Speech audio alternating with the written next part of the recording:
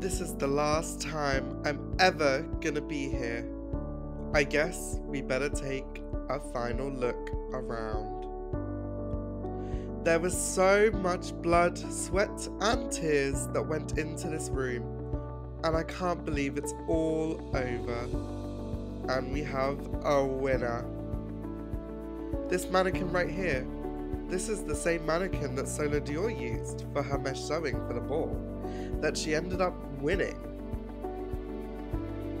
And this table right here, this is the same table that Ivy told me she was quitting because of school, which ended up being because of Camp Karma. And then she left my competition with the Golden Cassidy. Ah, I wish I could phone that bitch up and get my Golden Cassidy back. And right over here, this mirror. This mirror held 12 lipstick messages from last season. And let me tell you, they were queens of the literature. And there were so many paragraphs on this mirror, we will never be able to get rid of that red smear. And hold the fuck up a second. What is Candy doing here? I told her to leave a year ago. She isn't supposed to be here. But I guess she loved the season so much that she's still here.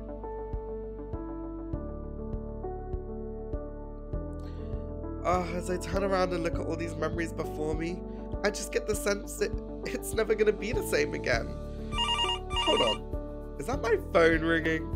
Hello? Yes? Oh, of course. I'll be right over. Looks like the new workroom is ready to move into. Goodbye, season one.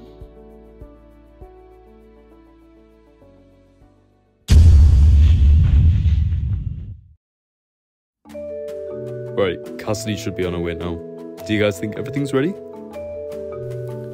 Honestly, it seems like it's all ready to go. Cassidy, it's so good to see you again. Uh, we've just been discussing the season, um, making sure everything's ready, so you haven't really missed that much. Lovely jubbly.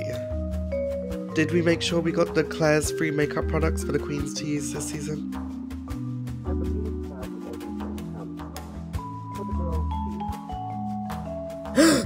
I'm not late for entrances, am I? Did they start? Ah, for the last time, Crystal, you're not on this season. You're joining the production side of it this time. Fuck you. What did I miss? Not much, believe me. We're just sort of finalizing all of our choices. Stage done? The stage is complete, yeah. Lighting should be up now and ready to go as well, so I think we're all basically set. Did you make sure to clean my dressing room? It's a fucking mess from last season. The cleaners have been in your room, I'm pretty sure. They've found some pretty cheap wigs, which, you know, might be on brand for you.